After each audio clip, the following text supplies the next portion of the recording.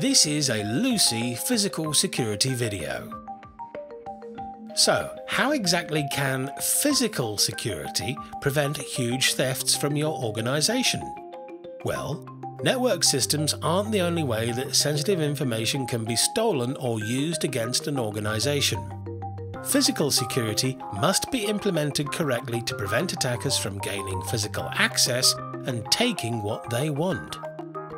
If you need to leave your devices unattended, secure them. Secure your area before leaving it unattended. Take keys out of drawers, close and lock windows. Never share your access code, card or key, and don't hold secure doors open for people you don't know. Be sure to lock up equipment and sensitive material before you leave them unattended. Shoulder surfing is using direct observation techniques, such as looking over someone's shoulder to get information.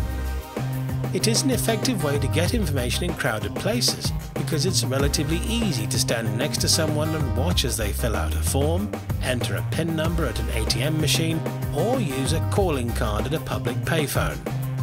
To prevent shoulder surfing, experts recommend that you shield paperwork or your keypad from view by using your body or cupping your hand.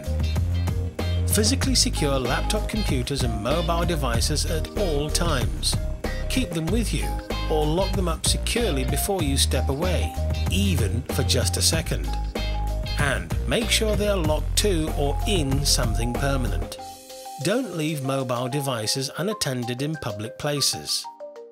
Be especially careful with portable devices, such as laptop computers, mobile phones, memory sticks, CDs, DVDs, floppy disks. These items are extra vulnerable to theft or loss. If you find a random USB device lying around, give it to the IT support team. The IT department can find the owner without putting the system in danger. Enable remote wipe. Some devices can be set to be erased remotely or to erase themselves if the password or PIN is entered incorrectly too many times. Consider turning these on to protect information in the case of theft or loss. Be sure to back up your device regularly if you enable these features. Password protect all of your devices. Use a complex password and set the device to lock after a short period of inactivity. Sensitive documents must never be disposed of in the waste paper basket. Also, don't forget, if you print a document, you should always pick up the printouts. Sometimes an attacker might look through your trash, hoping to discover useful information that may allow access to your network. An attacker may try to gain access by pretending to be an employee, visitor, or service personnel. Follow a clean desk policy.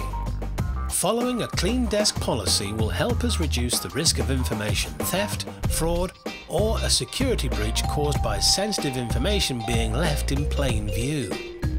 Lost your device? Report lost or stolen devices directly to your IT department and notify your supervisor.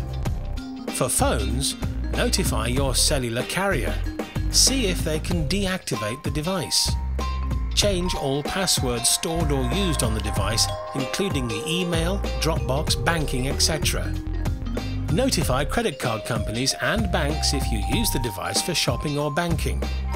Try to track its location if possible. Try remote wipe if sensitive information, passwords or credit cards were stored. Thanks for watching. Should you have questions, do ask your colleagues or the responsible department. They will be happy to help you.